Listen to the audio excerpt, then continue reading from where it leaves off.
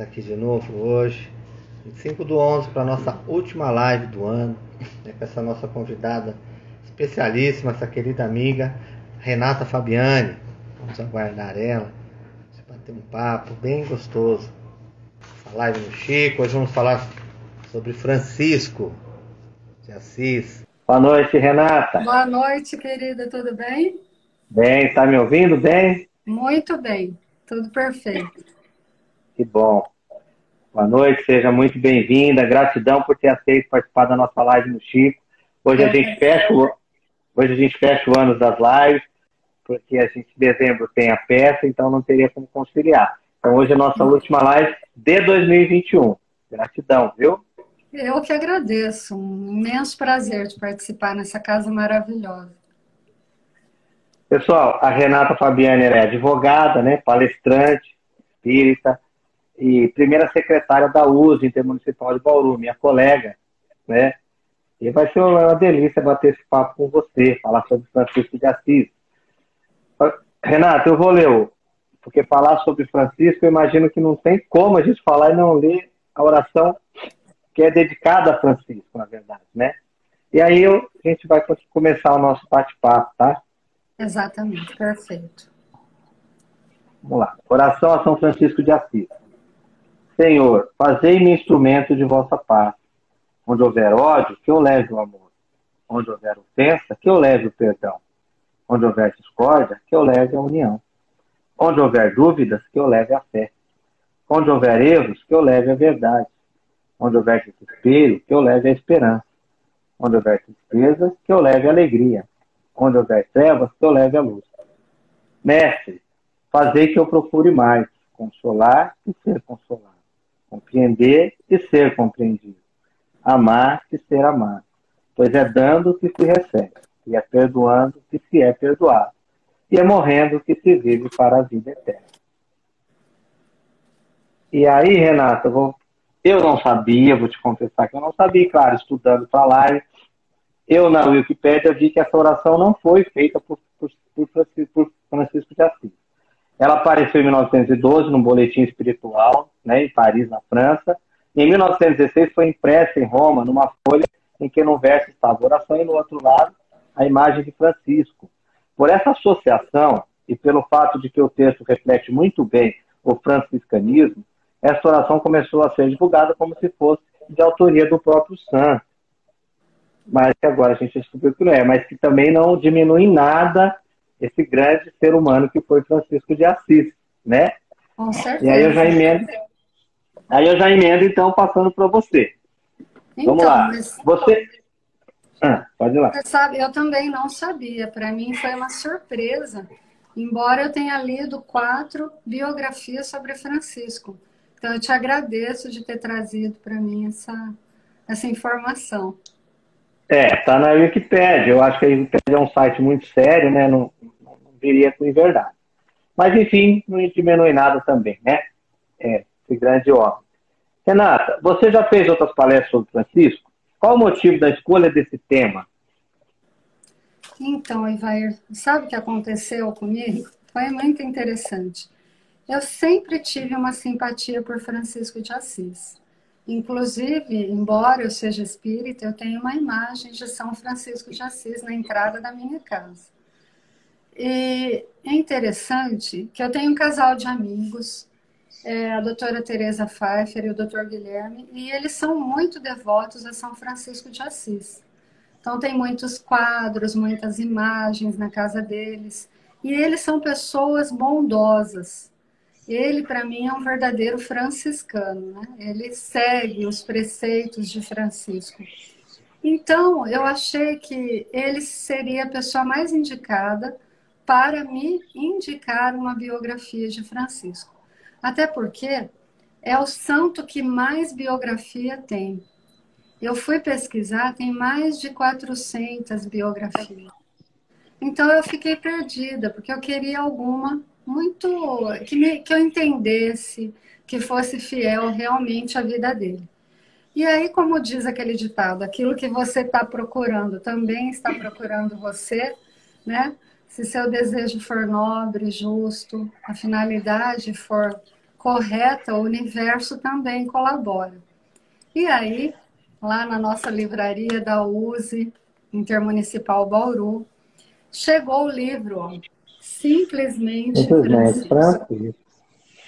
E como é, eu peguei esse livro, então, era lançamento, e eu comecei a ler e fiquei encantada. Realmente, para a gente iniciar, é um excelente livro. E depois para deixar ali na cabeceira, porque é um livro de consulta. Quando você se sentir é, deprimido, quando você precisar de uma palavra de otimismo, é um excelente livro. Mas aí eu não parei por aí. É do De Luca, né, né Renato? É, esse é, é do, do Luca, José né? Carlos De Luca. José Carlos vocês, De Luca, é. Vocês vão encontrar lá na livraria da USE. É, o que acontece? O José Carlos De Luca, aí, ele é aquele autor que já vendeu mais de um milhão de exemplares de cada título dele. Mas eu tenho certeza que Francisco vai bater essa marca. Ah, vai. E ele, e ele faz um trabalho muito bonito, né, Renato? Ele doa todos os direitos para a, é, a, ele está doando solidária. É, para fraternidade sem fronteiras. Fraternidade sem fronteiras, isso. Isso. É. Então, além de nós estarmos nos iluminando com a vida de Francisco, nós também estamos colaborando para essa é, Caridade Sem Fronteiras, que são crianças necessitadas. Bom, aí o que, que aconteceu? Sabe, velho? Eu fui atrás de outras obras. E aí eu também me deparei com essa obra, Francisco, e é do Guilherme Samora. E também veio completar o que eu precisava saber de Francisco. E eu fiquei tão maravilhada que nas minhas palestras eu sempre falava de Francisco, a partir desse livro. Até que o Osmar, né, nosso querido Osmar, presidente da USE, ele disse assim: Olha, Renata, você já descobriu quem foi Francisco na outra encarnação anterior a Francisco? E você sabe quem foi Francisco? Eu? É. Não, não, não, não sei. Já me falaram, mas assim. É, então, aí eu fui atrás desse livro aqui. Também comprei lá na livraria da USE e é pelo João Nunes Maia, pelo Espírito Miramês. E aí eu descobri que o nosso querido Francisco de Assis foi João Evangelista, o apóstolo amado do Cristo. E o Espírito, um Espírito, um missionário evoluído, pediu para Jesus, nosso Senhor Jesus Cristo, para voltar à Terra em outras passagens, não foi só essa de não foi só essa de Francisco, depois ele retornou e eu vou contar também depois quem foi ele. Depois nós estivemos muito próximos de Francisco. Nós estivemos muito próximos do apóstolo João Evangelista. Porque o que, que aconteceu? É, nessa época aqui de Francisco, João Evangelista pediu para retornar à Terra porque nós estávamos enfrentando a humanidade um período muito difícil. Além da igreja né, estar perdida, também nós estávamos enfrentando as cruzadas, a briga pela Terra Santa.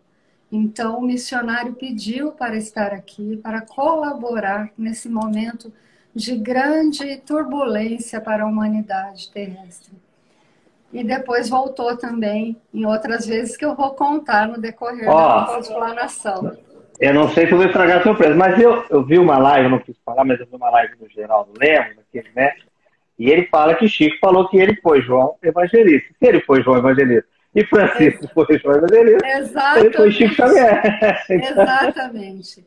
E além dele, antes dele vir, né, de ser o nosso Chico, eu não tive essa, esse privilégio de conhecer Chico Xavier.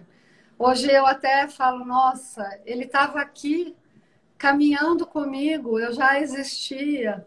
Mas nessa época eu tinha 19 anos, não tinha noção, né? Ainda não tinha despertado para a espiritualidade. Mas o, o nosso João Evangelista estava aqui junto com a gente. Chico Xavier nasceu aqui para nos iluminar mais uma vez. E aí também, através das lives de Geraldinho, eu descobri que o nosso querido Chico Xavier foi Allan Kardec. Foi né? Allan Kardec. É, foi Allan Kardec. Então você vê esse missionário, né, de tempos em tempos aqui conosco para nos iluminar, para dar um, um alavanque, né, na nossa evolução espiritual, evolução, no. É, na nossa evolução. Ó, eu é, também Chico é comprei Comprei mais um livro. Eu estou virando especialista em Chico Xavier, em Francisco de Assis. Francisco de Assis. É, de Chico, vai. É, de Chico. É. Sabe, é, sabe por quê que eu me identifiquei, que eu gostei muito? Porque, como o De Luca fala, o Francisco de Assis, ele, é, ele parece muito conosco. Ele não nasceu santo. Ele foi construindo né, a sua santidade aos poucos. Até porque ele nunca pretendeu ser santo. Na verdade, ele queria seguir os passos de nosso Senhor Jesus Cristo. A única pretensão dele era seguir esses passos. Então, Aí, é... Renata, te Aí, desculpa te cortar, mas eu te perguntar. Qual era o sonho do pai biológico de Francisco? Né? E qual o sonho né, é, do pai maior, né, de nosso Deus em relação a Francisco? Existia aí uma coisa, né? O pai biológico dele queria que Francisco fosse um, um, um né? seguisse um caminho. Francisco, assim, é, discordando de tudo, assim, de todos, assim, até meio que surpreendente, porque ninguém esperava, né? Ele parte para outro caminho. Como é que foi essa, essa história? Então, você sabe que o Francisco de Assis, né? Ele tem uma história muito linda que eu não sabia e eu fui me encantando. Primeiro que o Francisco não nasceu Francisco. Ele nasceu Giovanni de Bernardone. É. E aí o seu pai, quando voltou da França, era um rico comerciante, negociante de tecidos, ele voltou e resolveu batizar a criança, né, que a mãe no nascimento nomeou como Giovanni. Ele resolveu batizar Francisco, é, batizá-lo de Francisco, que significa francesinho. Ele havia voltado da França, tinha feito excelentes negócios, estava apaixonado por aquela nação, então resolveu homenagear seu filho, colocando o nome no seu filho, homenagear a França, colocando Francisco no seu filho. E aí o que acontece? Ele sonhava para Francisco não só a continuidade dos seus negócios, mas o sonho era que Francisco fosse um cavaleiro. Porque é, os cavaleiros, né, eles eram titularizados nas cidades, ganhavam notoriedade. Então, esse era o sonho do pai de Francisco. E Francisco, a princípio, também sonhou o sonho do seu pai. E se colocou na guerra. Olha como é contraditório, né? O homem que sempre falou de paz foi para a guerra. E quando Francisco foi para a guerra, ele, ah, ele, ele voltou derrotado. Primeiro que era uma luta entre a cidade de Assis e Perúdia. E ele foi aprisionado, ficou um ano encarcerado, só não foi morto porque era, era assim, valia mais vivo, né? Porque aí a cidade pediu resgate para o seu pai e para a família dos demais é, rapazes aprisionados ricos. Então Francisco voltou derrotado. Voltou para a cidade, foi trabalhar no comércio do seu pai. E Francisco era conhecido porque ele era o playboy, né? Da cidade. Bom vivan, né? Bom vivan. Bom vivan, é, é, é. Muitas festas patrocinadas por ele, regadas a vinho. É, gostava de roupas caras, né? Tinha acesso a tecidos importados. E Francisco, então, aproveitava todo, todo o dinheiro que a família dele tinha. E o pai dele também supria todas as vontades de Francisco. Aí, para você ver, né, Ivair, nós estamos falando de João Evangelista. Quando a nossa doutrina diz que mesmo um missionário pode vir à Terra e se perder, né? Porque a gente chega aqui, esquece né, o véu do esquecimento, Ô, Renata, um apóstolo, né? Um apóstolo. Um apóstolo. cuidou de Maria, né? Ela assumiu a responsabilidade. De Maria. Você vê, olha como que é o véu do esquecimento. É isso aí mesmo que você está falando. É, a gente chega é. aqui, a gente se encanta com a porta larga da perdição, principalmente se a gente nasce numa família abastada, né? Então é festas, viagens, roupas caras, bebidas, amigos. Mas aqui não é uma colônia de férias. Né? Nós, lógico que nós podemos é, nos beneficiar de uma, uma vida é, mais calma e tranquila, mas não fazer disso o nosso objetivo, né? É curtição e esquecer que nós viemos aqui para ser. E aí, Francisco... Ô, Renato, só uma, uma perguntinha. Ele era, ele era filho único ou não tem essa informação? Ou não? Ele tinha irmãos? É, eu não também até agora obtive é, essa informação. Fala, né? A princípio, ele era filho único. Imagina é, você sonhar para o seu filho único, né? O sonho de ser cavaleiro. Aí ele vai, fica lá, volta derrotado, voltou depressivo, foi trabalhar na loja do seu pai. E aí houve, Vair, o primeiro sinal de Jesus chamando ele para voltar aos trilhos, né? Porque ele estava lá, inebriado com aquela vida de playboy da Úmbria. E aí entra um mendigo na loja do seu pai, e Francisco estava lá. E o mendigo pede uma esmola em nome de Deus. Olha que interessante, em nome de Deus. Francisco enxotou o mendigo da loja. E depois que ele teve esse ato, o mendigo deixou a loja, ele teve uma crise de consciência e pensou: se fosse um nobre aqui de Assis, alguém muito rico, eu colocaria até tapete vermelho para recebê-lo, né? Mas como era um pobre, então eu tratei ele dessa forma. Bom, o que, que aconteceu? Ele foi atrás desse desse mendigo deu todo o dinheiro que ele tinha no bolso, levou alguns cortes de tecido e entregou a esse. E voltou estranhamente feliz. Ele nunca tinha experimentado uma felicidade como aquela de fazer o bem. Então você vê como é, né? O pai maior tinha um sonho para Francisco. E começou Sim. a acordar Francisco a partir desse mendigo, né? Já o pai biológico queria ele cavaleiro.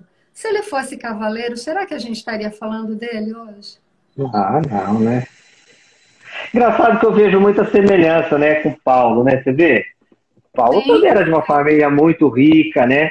Sim. Sabe, de tecidos e acaba, é, é, né? O pai acaba expulsando ele, né? Quando ele volta, né?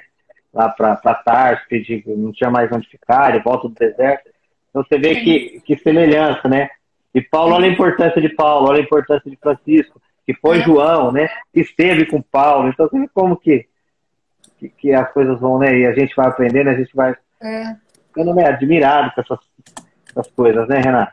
Então, ó, o pessoal está me perguntando aqui como faz para entrar na nossa live.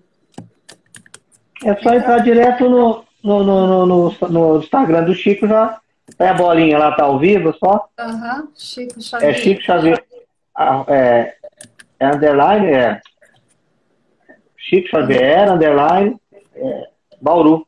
Perfeito, mandei para Arroba Chico Xavier, underline Bauru. Perfeito. Então, Evair, aí o que, que acontece, né? Ele voltou derrotado, mas ele soube pelos amigos que ia ter novamente um novo alistamento e que ele poderia então se tornar cavaleiro. E aí, de novo, né? E quantos de nós, né? A gente está indo por um caminho reto, de repente vem alguém falar, ah, vamos, ah, vai no centro, ah, vai no grupo de estudo, né? É. Bom, beleza. Aconteceu isso, ele estava indo para o caminho do pai novamente, vem colegas conversar. Vamos, olha, você pode novamente se tornar um, um cavaleiro. E aí ele se inscreve para ir para a cruzada aquela guerra que a Igreja Católica estava travando contra os sarracenos, brigando pela, pela Terra Santa, Terra do Santo Sepulcro, né? Aquela guerra que eles já estavam mandando até crianças para a frente de batalha. E Francisco vai novamente e volta novamente derrotado. E aí caiu numa depressão profunda e começou a pensar e ouviu nesse momento o segundo chamado de Jesus Cristo. Francisco, quem você prefere servir? O servo ou o Senhor? E ele disse: O Senhor. E aí, mesmo assim, ficou pensando, caminhando pela cidade de Assis, sem entender esse chamado. Até que, de frente para o crucifixo da igreja toda destruída de São Damião, ele viu Jesus como se descesse do crucifixo e falasse com ele: Francisco, reconstrói a minha igreja. Não é lindo demais? Lindo. Lindo, maravilhoso. E aí, Renato, como o Francisco fez então para informar os familiares, né, o seu novo caminho? Porque aí ele, ele ia enfrentar uma barra, né? Nossa Senhora, né? Imagina, né?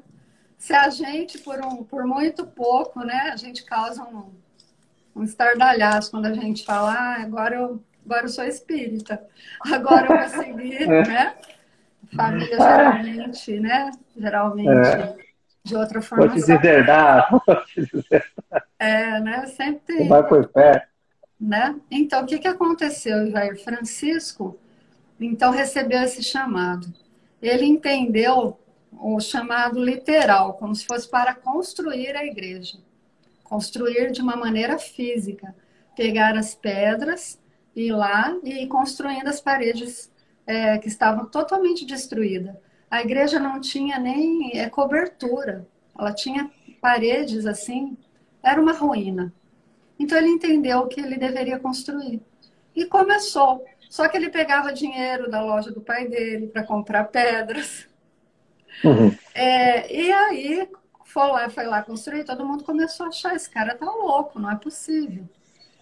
E o pai dele também. Teve vários momentos, teve até um momento que o pai dele levou a situação ao, ao bispo da cidade, ao bispo de Assis, porque naquela época os casos de família não ia para o juiz de, juiz de família, né, o juiz de direito.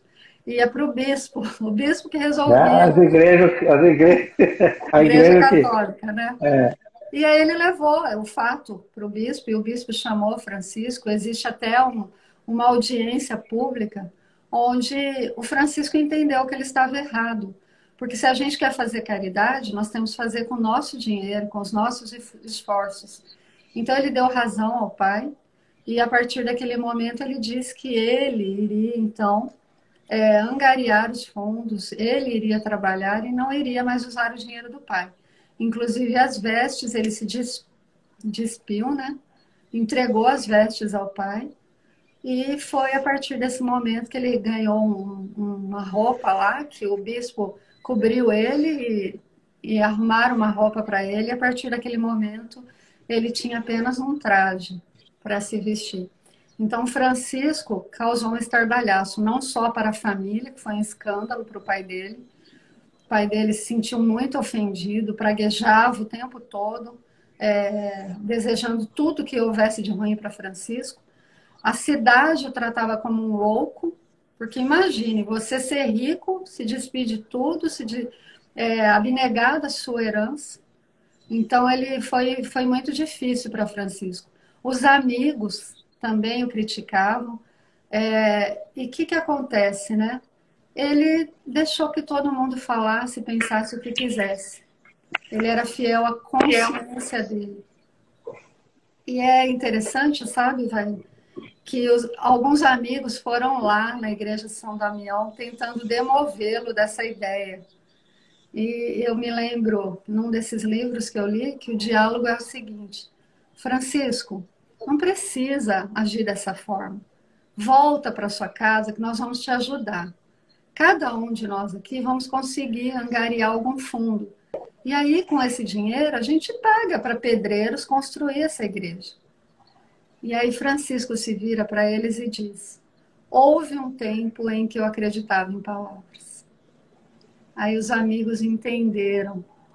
Então também começaram a pegar pedras e a construir a igreja e também se fizeram parte então daquela nova ordem que se iniciava com Francisco de Assis.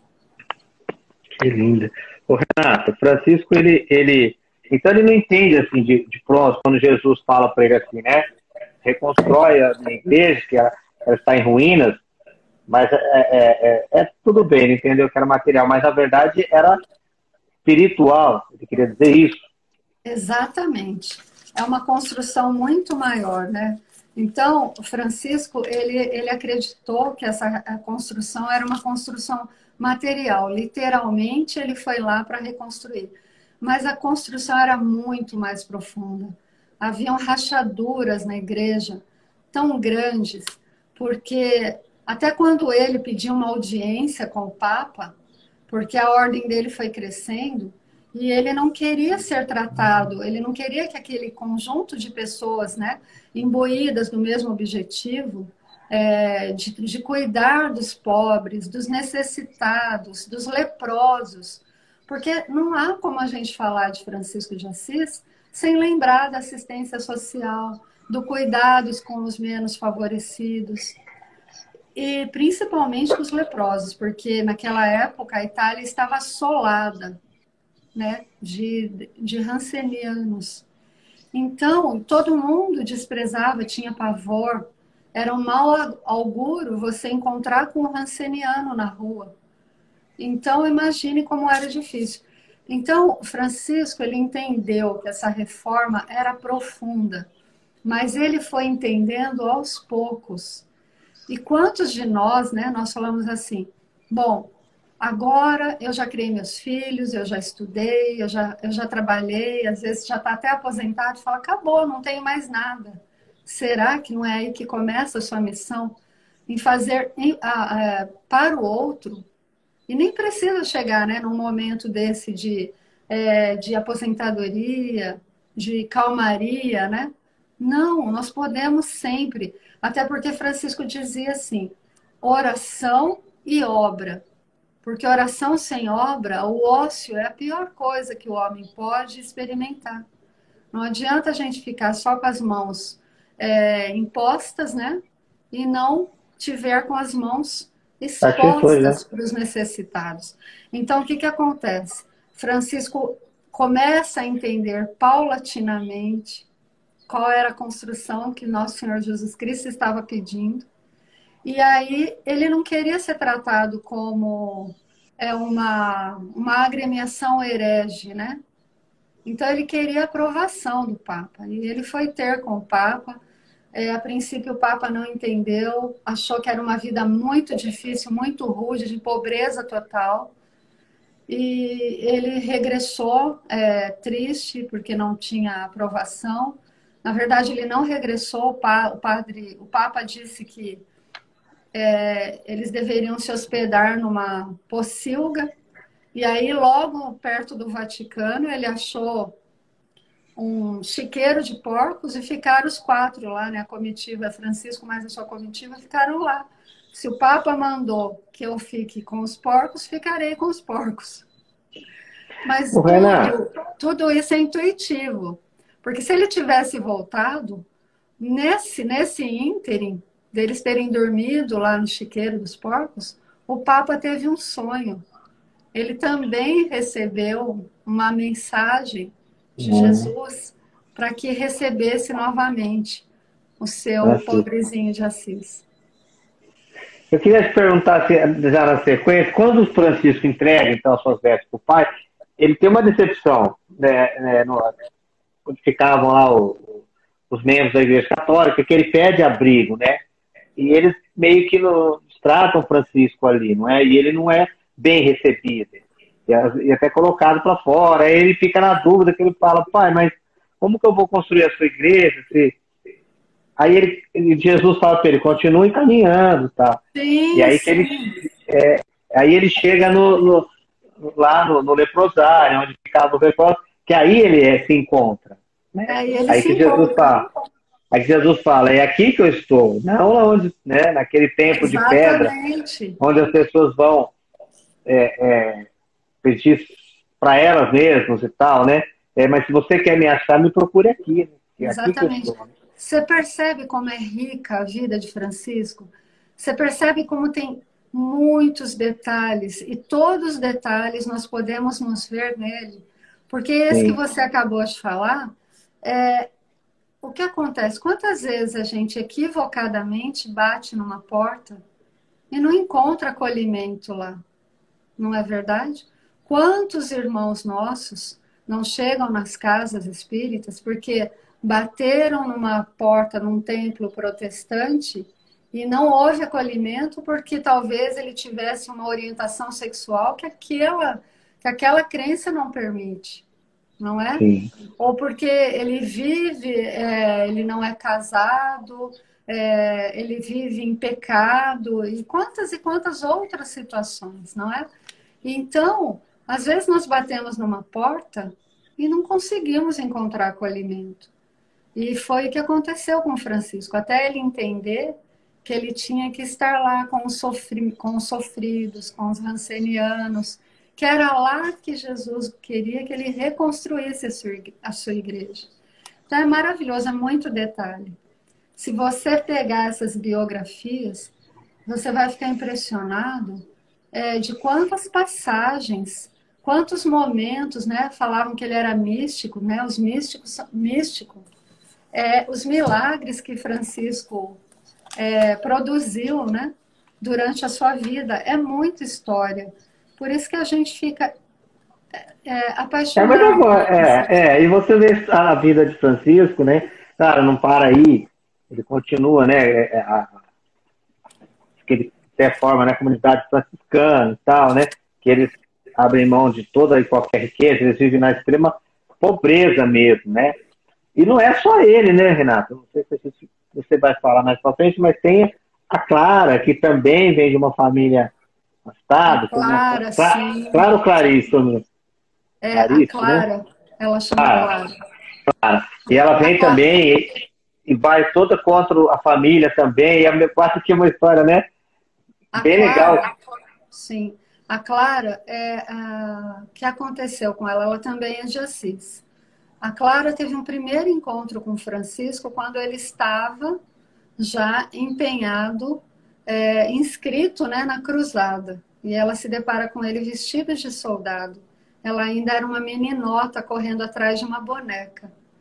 E Francisco pega essa boneca, devolve a Clara e diz para ela: vá embora e não olhe para trás.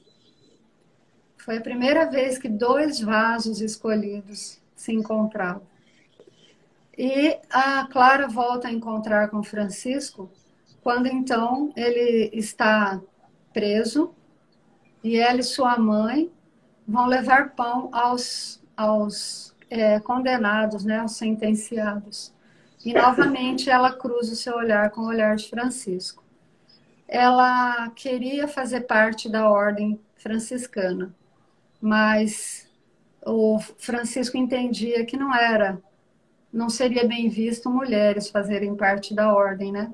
E ela também abdicou de casamento, queriam que ela casasse com alguém da aristocracia é, da cidade de Assis, mas ela também sentia que a missão dela era maior. Era maior do que ser uma mãe, do que ser uma esposa. E ela fugiu de casa e ah, recebeu a é, acolhida né, de Francisco, da Ordem Franciscana, e ela funda então a Ordem das Clarissas. Então é muito bonito, ela é uma parceira de Francisco. Sabe que eu deixei de falar, nós não falamos? Eu não sabia. Você sabia que Francisco nasceu num estábulo? Eu é até assim, esqueci também não fala, porque na verdade a mãe estava é, para ter o parto e, e, não nascia, não nascia, chegou um mendigo que ninguém conhece, né? Bateu na porta e falou, ó, fala para ela ir pro estábulo, né? Senão a criança não, vai, a criança não vai nascer. É.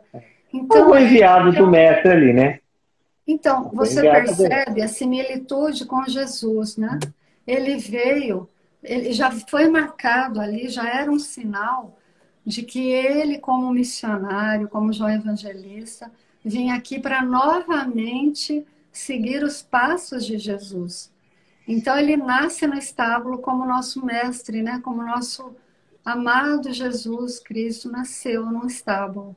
um, um, filho de um nobre de Assis, com toda a assistência de parturientes lá, e, e não nascia. Então chega esse peregrino, bate na porta e fala: Olha, diga para a senhora Pica Bernardoni que a criança só nascerá no estábulo. E ela resolveu então cumprir a ordem e Francisco veio ao mundo no estábulo, dando já os indícios da sua missão. É lindo demais. Imagina você é, descobrir tudo isso. Para mim foi demais. Francisco mudou é porque a minha vida.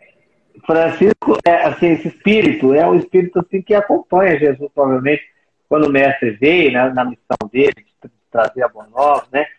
Sim. Ele, claro que ele, vieram espíritos antes enviados por ele, né? Os profetas, Moisés, até Moisés e tal. Depois vieram espíritos junto com ele ali, né? Sim. A mãe, a mãe, o pai e tal, né? A família.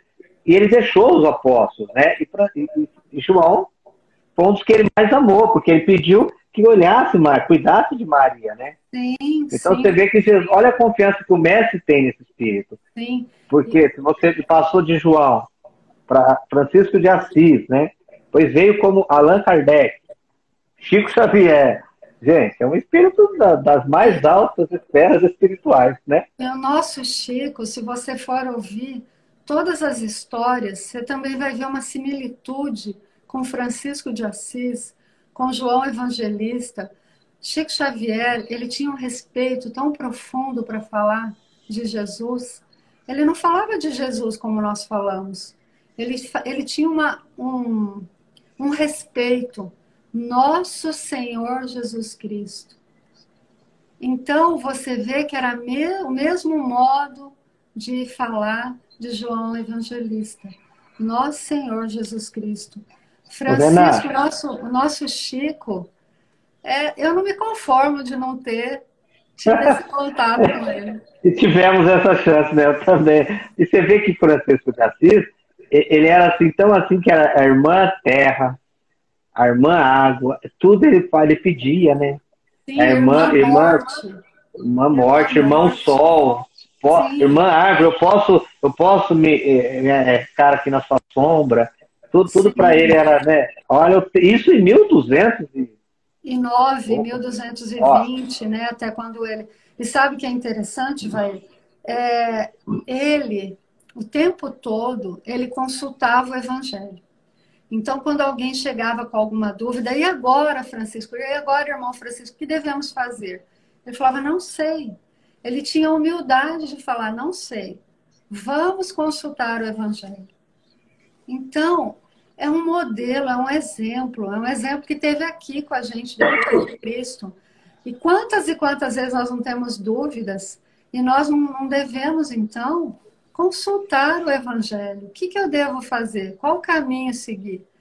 Então, essa humildade de Francisco, é, ela contagia a gente. E ele, o tempo todo, tentava seguir os passos de nosso Senhor Jesus Cristo. Porque a gente encontra, não sei você, mas eu encontro muitas pessoas dizendo: ah, eu não sou Jesus. Ah, então estão exigindo demais de mim. Ainda não sou Jesus. Está na hora de ser. Está na hora de seguir os passos. Fazer o seu possível. Deus, o nosso Pai maior, que mandou nosso Senhor Jesus Cristo aqui, autorizou para que ele desse exemplo.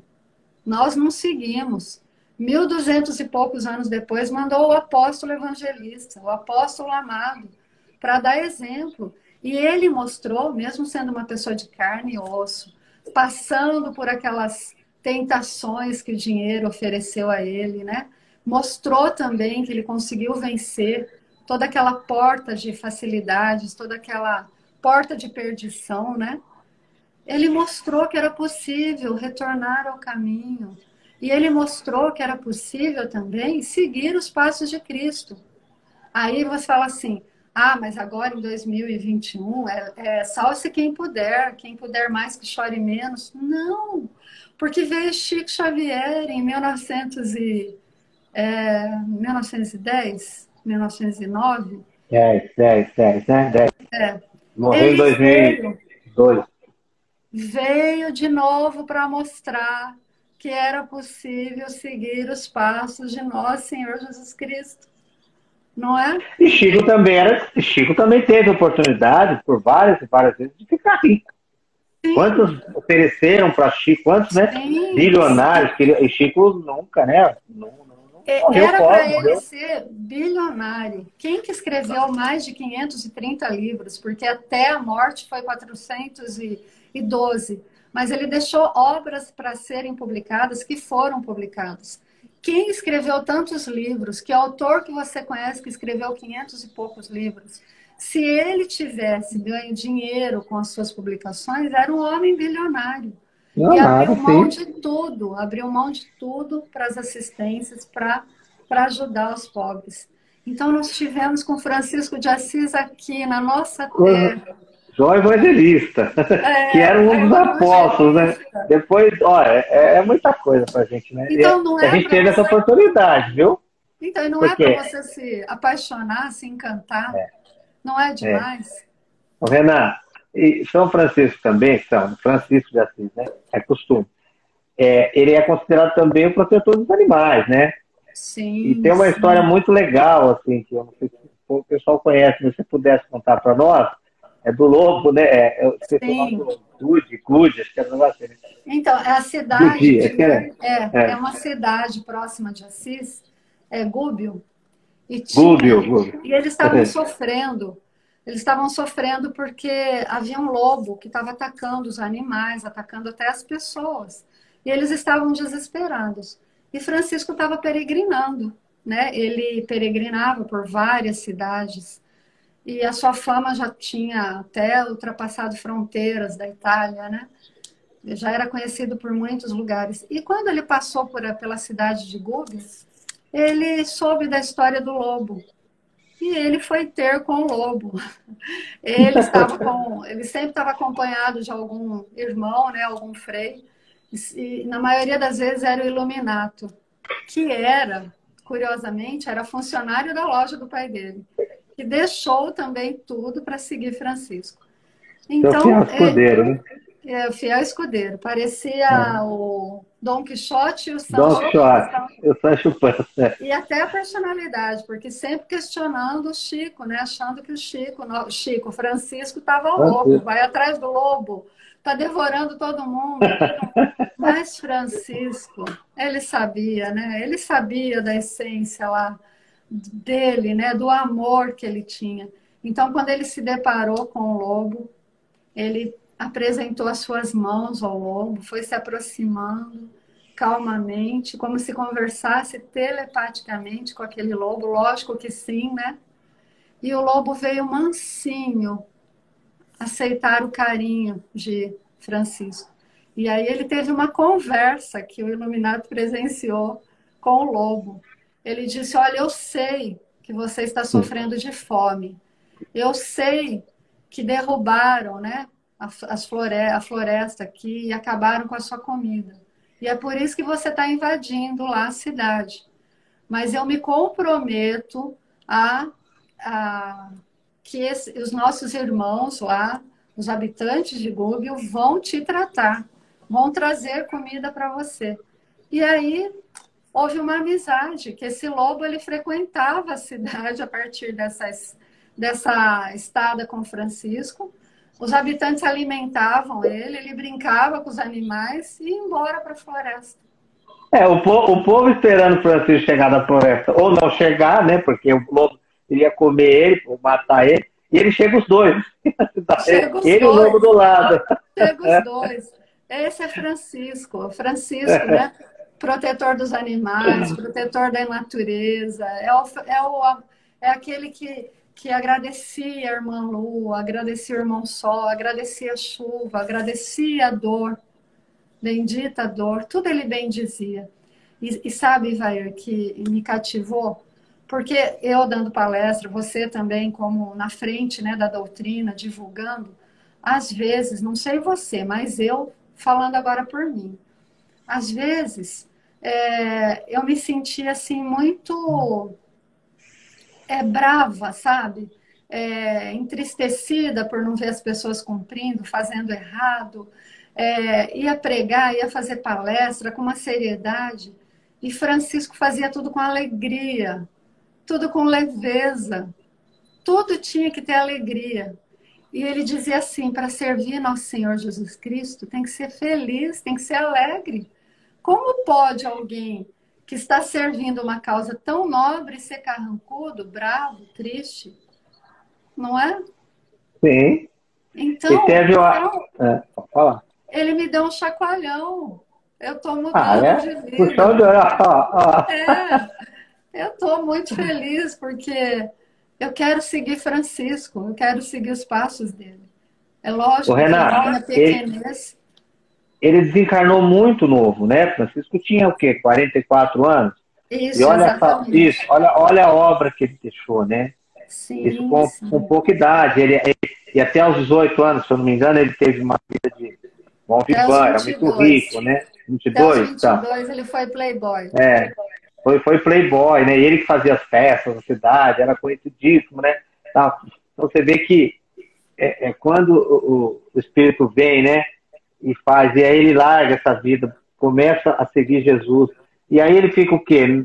20 anos fazendo essas obras, né? Exatamente. E, e passando muita necessidade, porque eles passavam muita necessidade, porque eles abdicaram de tudo, né? Muita necessidade, de... sim. Muita necessidade. Era até uma vez que os, os ladrões foram lá e o, pedir comida, não era nem para roubar. E aí o, um dos companheiros dele expulsou. Quando eles chegam, o rapaz fala, ele fala, não, agora você vai lá buscar os ladrões e trazer aqui, né? E vai é, ajoelhar e pedir é. perdão. Não sei o que tal, né? Exatamente, os ladrões não entenderam nada, né? E aí ele devolveu, e o que, que aconteceu? Os ladrões se converteram à ordem franciscana e foram lá trabalhar. E se eu te contar que Chico passou pela mesma situação? Chico Xavier. Eu não sei se você sabe que ele foi assaltado lá em Uberaba. E aí os ladrões falaram para ele: e aí dá todo o dinheiro que tem. Ele não tinha quase nada, uma miséria no bolso. E aí eram dois assaltantes. Um virou para o outro e disse: Eu falei para você que não valia a pena assaltar. Olha aí, ó, todo maltrapilho, Nossa, essa roupa aí, ó, simples, né? E o Chico ouvindo tudo isso. E aí é, ele disse assim, mas o senhor não tem dinheiro? Ele disse assim, não, senhor, é, é que eu tenho muitas criancinhas para cuidar, né? Aí o ladrão disse para ele, mas o senhor é casado? Ele falou, não, senhor, mas eu tenho meus sobrinhos, é, meus irmãos, crianças da, da comunidade que eu auxilio. E aí o outro ladrão se comoveu e disse assim: passa aí os 200 cruzeiros que você tem no bolso. Aí o, o primeiro ladrão disse: Eu não acredito que você vai fazer o que eu estou pensando. Me dá aí o dinheiro. E aí ele pega os 200 cruzeiros e entrega para o Chico Xavier. Na época era cruzeiros. E o Chico Xavier agradece, fala: Muito obrigado, Deus abençoe vocês, meus irmãos. E aí o ladrão lá, mais irreverente, disse assim: como Deus vai abençoar? Nós somos ladrões. E Chico falou, mas Jesus foi embora com dois, ladeados por dois. Então, olha a semelhança, olha o jeito com que os dois lidaram da mesma forma, com a mesma situação, né? Então é interessantíssimo. É como Francisco muda a vida da gente a partir do momento que você tem conhecimento. E com relação à fé, sabe? Houve um momento em que Francisco, nessas peregrinações dele, como você mesmo disse, passou muita fome, muita necessidade, muitas dores, judiou muito do corpo. No final, ele até pede perdão ao irmão corpo, porque ele acredita que ele judiou demais. E o que, que acontece? Há um momento que eles estão voltando é, de uma peregrinação, ele Iluminato, novamente, os dois. E já está caindo a noite, uma, uma nevasca absurda, uma temperatura abaixo de zero. Eles descalços, só com aquele manto, morrendo de fome. E aí eles avistam longe um mosteiro. E, e ficam muito felizes e vão lá e olha, vão nos dar guarita. E eles batem lá, era um mosteiro de franciscano. A ordem dele já tinha crescido. e eles dizem, bate na porta e diz, quem bate? E o Iluminato falou, sou eu, Iluminato e Francisco. E lá de dentro respondem, ah, tá, que é Francisco. e não atende. E aí Francisco começa a dançar. Iluminato nesse momento fala, bom, agora enlouqueceu de vez. Passando fome, frio e ele dançando.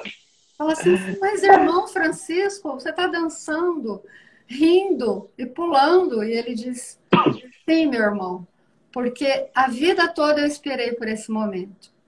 Sempre, sempre alguém poderia nos salvar.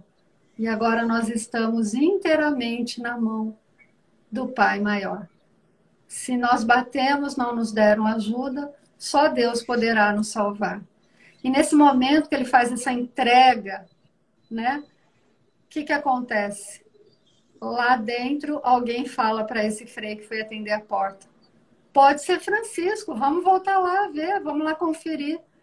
E aí chega, abrem a porta e ficam então muito felizes e recebem os dois.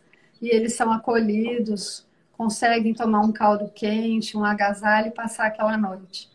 É, então, não é demais? Quantos e quantos de nós já não passamos por situações onde você fala: não, agora ninguém poderá me salvar. Não adianta pedir bater na porta do meu vizinho, não adianta pedir empréstimo no banco. Não, não é uma situação que é só Deus que pode nos ajudar, só o Pai maior. E se a gente não tiver a humildade de Francisco de entregar, porque Deus e nosso Senhor Jesus Cristo respeita o nosso livre-arbítrio. Se a gente quer resolver sozinho, dentro do nosso orgulho, eles, eles aguardam. Nós precisamos falar: olha, Pai, estou entregue, me ajude. Me ajude. Então, exercer a nossa humildade. Então, não tem, Renato, O Francisco ele tinha algum arrependimento ou não? Tinha. Isso que torna ele assim mais ainda. A gente se identifica. Quem de nós não temos arrependimentos, né? E vai. Quem de nós, né? Que nós Sim. gostaríamos de voltar lá e fazer um novo começo. E ele tinha, porque ele diz que a pérola mais rara é a da paciência, que ele não teve paciência com o pai dele. Então, ele poderia ter entendido mais as razões do pai, os sonhos do pai. Não que ele deixaria de cumprir a sua missão, mas não ter sido tão duro, né? Da maneira com que naquele julgamento ele agiu, é, talvez envergonhando muito ainda, mais ainda o pai, né? Se despindo na frente de todos. Então, é, a gente pode seguir o caminho sem, sem ferir muita gente, né? Então ele se arrependia de não ter tido paciência, de explicar quantas vezes fossem necessárias ao pai dele, que ele amava, mas que ele estava a, a mando do pai maior. E será que se ele não tivesse tido mais paciência, talvez o pai dele não tivesse entendido? E a forma é, Francisco é um ensinamento, uma lição, né? Que vida maravilhosa a forma também, é, antes dele já muito fraquinho quando ele volta, né? E ele, ele pede para ficar, ele pede para visitar Clara, e Clara cuida dele nos últimos, né? Sim. E o desencarne dele também é muito assim. É muito lindo, né? Lindo, porque ele, ele pede para que coloquem, como é que foi? Ele coloca ele na terra, é isso? É isso, ele já tava... coloquem ele na terra, porque da terra, né? É, é, ele veio, da terra ele gostaria de retornar. Então é muito tocante, é muito lindo. E uma coisa que eu não sabia, porque o que, que eu sabia de São Francisco de Assis? Eu sabia a oração, eu sabia que ele era muito bondoso, que ele conversava com os pássaros, que ele era protetor dos animais. Só isso eu sabia. Eu não sabia que ele tinha nascido no estábulo. Eu não sabia que ele seguia os, pra... os passos do Cristo. Eu não sabia que na morte de, de Francisco, ele tinha os estigmas de Jesus. Ele nas mãos ele tinha as marcas é, dos estigmas da cruz, as chagas de é. Jesus. Né? Então e ele, ele fazia de tudo para que ninguém visse. Ele não queria é, se vangloriar dessas marcas, né? Que na verdade era como que um troféu, porque ele chegou vencedor ao final da, na, sua, na, na sua passagem, ele era vencedor. Ele venceu também o mundo, né? Ele passou por todas as humilhações, consolou, Sabe que é interessante que nesse livro aqui do Miramês, ele é prefaciado por Bezerra de Menezes. E eu queria pedir permissão para ler só um trechinho, onde ele fala que para falar de Francisco de Assis é falar de um anjo. Seria necessário ser um anjo também, condição de que todos nós estamos muito longe. Né? Então ele fala que Francisco de Assis, viveu a mensagem do Evangelho de modo a consolidar a palavra amor, fazendo sair da teoria e avançar para a prática do dia a dia. A oração que você leu no início, a oração de São Francisco, é uma oração de atitudes, né? não é uma oração petitório. Ele fala: Fazei de mim instrumento, onde houver que eu leve, né? Consolo. Então, é uma oração de atitudes. É, não há jeito na Terra, então, da gente pensar, escrever sobre caridade, sobre assistência social, sem lembrar de Francisco de Assis. Então, todos os caminhos por onde ele passou falam dele. Você sabe que eu já tive na Itália, eu tive em Pádua. Santo Antônio de Pádua foi franciscano, você sabia, né? Não, essa eu não sabia. Não. É, é. é. Santo Antônio foi é, franciscano é, e eu chamo Antônio. Conviveu, então. É, conviveu é, com São Francisco, só que tinha uma diferença, né? É, Santo Antônio ele era muito letrado, muito culto, e ele teve, assim, é, uma dificuldade, porque ele entendia que para seguir Francisco tinha que ser humilde até culturalmente. E aí Francisco disse para ele que não, para segui-lo tinha que ter o coração fraterno. Então, Francisco, tam, é, Antônio também fez parte da ah, Ordem ah, dos Franciscanos. E São Benedito também. E cada, cada um que aderia à Ordem Franciscana é, fazia o que, o que tinha, é, dava o que claro, tinha. Santa Clara também. É, cada um Acabaram todos. É. As suas possibilidades. Então, por exemplo, eu, é, São, São Benedito, ele gostava de cozinhar. Então ele cozinhava para os, os outros irmãos. São, é, é, Santo Antônio ele era muito bom de oratória. Então ele praticava oratória. Porque, então cada um é, utilizava as suas habilidades. Colaborava com, é, com é, o que era Sim. melhor ali. E é lindo, não sei se você lembra de um trecho aqui do livro do De Luca, que ele fala que Deus né? Francisco dizia que Deus não espera coisas absurdas de nós. Ele quer que cada um de nós faça dentro das suas possibilidades. Possibilidades, é. Né? Então isso é lindo demais. E aí, ó, só para terminar o que o que Bezerra de Menezes disse sobre Francisco de Assis, ele diz que o Cristo operava pelas mãos de Francisco de Assis que era um anjo de Deus, que confortava os doentes, curava os enfermos, instruía os ignorantes, fartava os famintos e vestia os nus. Francisco dava sem receber e recebia distribuindo. Amava sem exigências e, quando ofendido, amava o ofensor.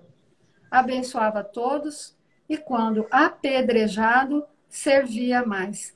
Você lembra que ele bate na casa de de um morador de Assis pedindo uma esmola para os pobres e o homem cospe nas mãos cospe, dele. Cospe, né? É. Não é demais? E aí é. ele guarda toda aquela humilhação, né? Ele deixa para lá, volta a bater nessa mesma casa e diz: Olha, o que eu mereci, o senhor já me deu. O que, que o senhor tem para dar para os pobres? Né? porque que ele tinha dado, cuspir, humilhar, era para Francisco. Mas Francisco não estava ali em nome dele, estava em nome dos necessitados. Será que a gente agiria assim? Ah, então. Então, mas a gente é. precisa lembrar desses exemplos, a gente precisa lembrar quando alguém é ríspido conosco, quando alguém é, faz alguma coisa, a gente precisa lembrar de dizer assim, tá, isso, que, isso aí que eu mereço. Deixa ele, é problema dele. Sim, é verdade. Né, o que ele fez não tem problema, eu vou relevar e vou seguir adiante. Então, olha, o Francisco ele nunca se indignava. Quando em meio à revolta, ele orava em favor de todos. Trabalhava e amava o trabalho. O tempo todo ele trabalhava. Ele não delegava, ele, ele foi o criador da ordem. Né? Ele podia sentar num trono, é, uma hierarquia que não tinha hierarquia, a ordem dos franciscanos, e não tem até hoje. E ele podia sentar lá e comandar todos, todos. E ele não fazia isso, ele trabalhava junto com todos. E quando ele se defrontava com a inércia, ele estimulava o trabalho, vamos trabalhar. Tinha como base a felicidade, a alegria. Eu aprendi isso. Eu preciso ser alegre, preciso ser feliz. Se eu propago o evangelho, eu tenho que ser feliz.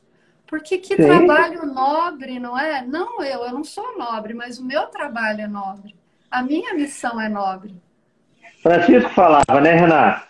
Pregue o evangelho. Se necessário, use as palavras. Né? Exatamente, né? Uma maneira de você pregar, você ser alegre. Você, né? você mostrar que você está feliz, que você está feliz ali. Eu, quando faço palestra, quando faço algum trabalho, a live, a peça, a gente se dedica realmente, faz com tanto carinho, tanto amor, que aquilo para nós é, é, é muito demais. bom. E depois né? que a gente termina, que a gente sente aquela felicidade que está lá no primeiro, segundo capítulo, estranhamente feliz, né? A gente pode dormir o sono dos justos, que nós cumprimos o nosso Sim. dever daquele dia, daquele compromisso. Não é verdade? Ah, é maravilhoso. E olha, Francisco, ele não, é, quando ele encontrava tristeza, ele alegrava a pessoa triste, a pessoa deprimida, ele não ficava cultivando. Ele não falava em doenças. Quando ele encontrava os enfermos, ele enfatizava a saúde, sem esquecer a fé. Então, ouvia em silêncios que sofriam, falava quando a sua palavra fosse consolo ou paz. É aquilo que você disse. Se a nossa palavra, né? Às vezes não é necessário palavras. O exemplo que você falou, né? Que ele disse: vá é, e pregue. Se necessário, use palavras. Se necessário, use palavras. É. Você acabou de dizer. E aí, olha, terminando. Foi bom, foi justo, foi honesto. Foi feliz, foi trabalhador e foi irmão. Foi perdão. Foi manso, enérgico quando necessário, compreensivo. Enérgico. O nosso Chico Xavier, muita gente acha que ele era aquela mansidão, aquela pessoa ali que aceitava tudo, meu irmão, não é assim. Olha, gente, assistam as palestras de Geraldinho Lemos Neto. Ele conviveu com o nosso Chico Xavier. O Chico, quando tinha que ser correto, correção, ele era é, enérgico. Ele era enérgico com, com relação à ética, com relação à moral cristã. Né? E ele não aceitava coisas erradas. Então tinha o sim, sim e o não, não. E é igualzinho, né? Igualzinho quando ele foi Francisco de Assis. Ele foi tolerante, foi humilde, foi pastor. Foi santo, foi místico e foi homem. E foi um anjo, porque ele cultivou um jardim de virtudes dentro do coração, na presença do Cristo e na lavoura de Deus. Que a gente possa, né, seguir os passos desse homem. Maravilhoso. Olha, eu, bom, eu conversei com o Geraldo, fiz uma live que eu tive esse grande prazer. O Geraldo também é muito, ele traz muitas informações pra gente, né? Muito. Ele conviveu com o Chico, né? Pô, que privilégio, né, Renato? Conviver do lado de um espírito tão evoluído, né? A gente, a gente teve, como você falou, tivemos essa chance, mas eu acredito que vamos ter outra, né? Então, mas nós estamos tendo, aí. Nós estamos tendo a né? oportunidade de conhecer a obra, né? E mais um Sim. livro, mais um livro que eu recomendo para vocês, para confirmar o que o Evair falou, o que eu disse, para não dizer que nós estamos inventando. Existe um livro chamado Kardec Prossegue. Vocês podem ir lá na livraria da USE, se não tiver, encomendar, chega rapidinho. E esse livro, Kardec Prossegue, fala das reencarnações é, de Chico Xavier. E lá, e esse, esse livro foi reconhecido por Chico, que quando é, foi escrito, Chico ligou para o, o escritor e disse: não é para publicar agora, haverá o tempo certo, porque senão vai criar uma celeuma, não é o momento ainda. Mas no momento certo, ele autorizou a publicação ligou para esse autor. Eu tenho esse livro, eu acabei de receber esse livro, porque eu estou lendo tudo agora, estou conferindo tudo. E ele ligou então para esse autor e disse assim: olha, para publicar em 15 dias, agora pode publicar. E quando saiu esse livro, o Geraldinho teve lá em Uberaba e ele sempre queria perguntar para o Chico se ele era Kardec. Só que quando chegava perto do Chico, né, ele dizia assim, daquele general, né? A gente estremecia. Primeiro, porque ele lia os nossos pensamentos. Então, você ia assim, é, com aquele objetivo de fazer uma pergunta, chegava lá, você, não, não vou perguntar. Mas houve um dia que ele falou, hoje eu pergunto. E ele perguntou assim, é, Chico, posso te fazer uma pergunta? E Chico abaixou o óculos e falou, pergunte. É, o senhor sabe me dizer aonde anda Allan Kardec? E Chico disse: anda trabalhando muito. E depois pegou o livro Kardec Prossegue e autografou para o Geraldinho e entregou. Então, é, ratificando que realmente ele era Kardec. E nesse livro há vários, vários autógrafos do Chico lá no final, comprovando que Chico aceitou assumir que ele havia sido Kardec. E também nesse livro há lá que ele diz, né? Francisco de Assis também já estava reencarnado aqui nas terras brasileiras, junto conosco. Foi maravilhoso. Conhecimento nos liberta, nos transforma. Né? E Francisco, que Francisco transforme a vida de todos. De todos e, vocês. E Francisco, nós somos espíritas, né? Graças a Deus. É muito orgulho da, a doutrina que eu professo. E Francisco é, é, é, o espírito de todos, né? Não é santo da Igreja Católica, nem. Não, ele é. é um espírito, ele é um espírito que veio para realmente impulsionar a evolução da Terra. Ele é ecumênico. Você é. sabe que é, eu estou indicando esse livro, eu já comprei para presente de Natal para várias pessoas é, é, o presente, gente. Vocês querem dar um presente que toque o coração, que talvez transforme a vida de quem lê. Quem lê não vai sair incólume. Não, não vai ser é o mesmo. Diferente, é diferente. Vai ser diferente. Procure esse livro, comece por simplesmente Francisco, depois se aprofunde como eu e Evair estamos fazendo. Vá conhecer a livraria da USE, que é maravilhosa. Vai lá. Tem o Clube da Leitura, que se você se é, associar, você tem desconto nos livros. Desconto, é importante. É, sim. E, e, que a gente puder fazer para iluminar a nossa vida, né, vai Vamos fazer, né? Porque, é, como Haroldo Dutra diz, né? Eu tenho medo de mim sem espiritismo. Eu ah, falo eu... assim. Você eu, também? Não veria sem, eu não viveria sem né, a doutrina. Eu não seria a doutrina é, se não fosse é. essa doutrina. Ô, Renan, olha, obrigado, obrigado mesmo. Gratidão por você ter aceito tá, esse convite, participar da nossa live no Chico. Né? Foi um grande prazer, a gente ficaria horas aqui. É, obrigado mesmo em nome da nossa diretoria, em nome dos trabalhadores da nossa casa, que hoje você também faz parte lá né, do Chico que agora você está sempre tá fazendo palestra, nos presenteando né, com o seu conhecimento, e isso é muito bom. E na próxima estarei com certeza, não vou estar de plantão. Então, eu te agradeço muito, gratidão, viu, minha querida? Obrigado, viu? Eu Obrigado. que agradeço, eu que agradeço. Você não imagina a emoção de falar com de Francisco, é, de falar para essa casa maravilhosa, de falar com quem está nos assistindo. E se a gente puder iluminar, cada coraçãozinho que a gente pudesse seguir os passos de Francisco, nossa, quanta felicidade isso traz para nós, não é mesmo, Ivaí? E olha, gente, dia 23 de dezembro, Opa, nós vamos estar juntos, né? Que eu vou vamos, estar assistindo a peça que você escreveu, que eu já assisti, que é maravilhosa. Ai, Jesus, desdobrei. Vai ser maravilhoso no Espaço Bauru, né? E nós Espaço vamos Vida. juntos. Espaço, Vida. vida. Espaço é. Vida, nós vamos estar juntos. Se Deus Chega quiser. cedo, pessoal, porque olha, a perspectiva é de casa cheia e depois não temos outro dia para apresentar essa peça, vai ser só apresentação única, né?